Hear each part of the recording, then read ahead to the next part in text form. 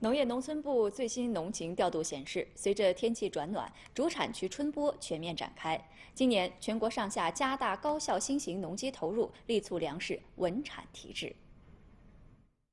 东北地区春播面积占全国春播面积一半左右，眼下东北春播正加快推进。在吉林四平，老庄稼把式们用上了新型免耕播种机，与过去翻地播种大不一样。他们直接在满是秸秆的土地上种玉米，播种质量非常好，出苗率基本都能达到百分之九十八以上，每公顷能增产百分之十左右。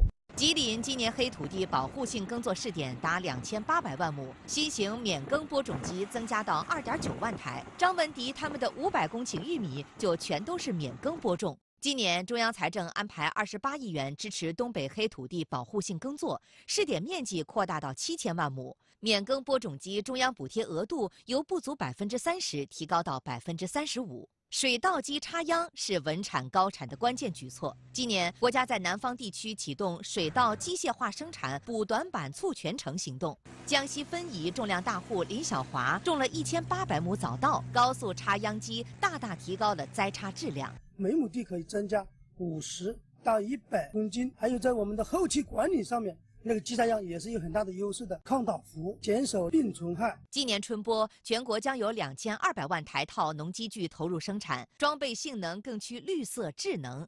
十九万个农机服务组织，七点四万个农机合作社就近为小农户提供农事服务。今年中央财政安排农机购置补贴资金。一百九十亿元，比去年增加二十亿元，进一步加大粮食生产机械化薄弱环节的补贴力度，全力以赴确保春耕生产进度和质量。春播面积占全年粮食面积一半以上。最新农情调度显示，今年春播粮食意向面积增加八百多万亩，目前春播过四成，进度快于去年同期，总体进展顺利。